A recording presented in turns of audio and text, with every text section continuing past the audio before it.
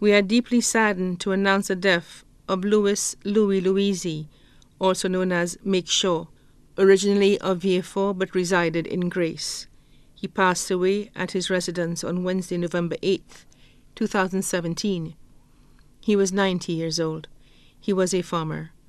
The funeral service of the late Lewis Louis Louisy, also known as Make Shaw, will be held at the Lady of the Assumption Roman Catholic Church in Vieux on Friday, November 24, 2017, at 2 p.m. Then the body will be laid to rest at the Vieux Cemetery. The body now lies at Rambali's funeral parlor, Latonnais, Vieux